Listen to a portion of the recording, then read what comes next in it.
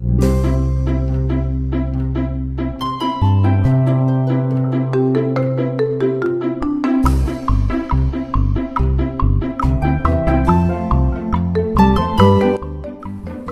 ากกดติดตามกดกระดิ่งเป็นกำลังใจให้ด้วยนะคะ ขอบคุณค่ะ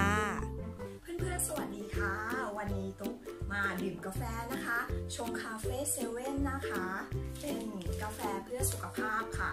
ไม่มีไขมันทาน ช่วยลดไขมันด้วยนะคะ ดีต่อสุขภาพ ที่สำคัญผสมคอลลาเจนด้วยนะคะ ชงได้ทั้งน้ำร้อนและน้ำเย็นค่ะ เดี๋ยวมาชงกันเลยนะคะ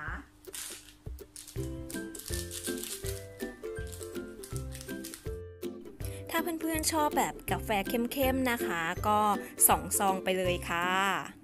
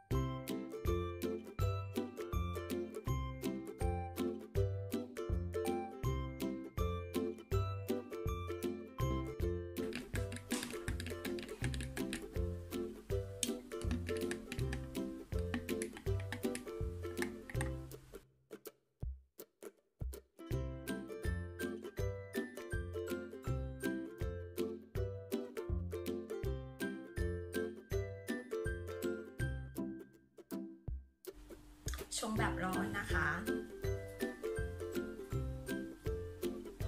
อืมหอมอร่อยเลยค่ะ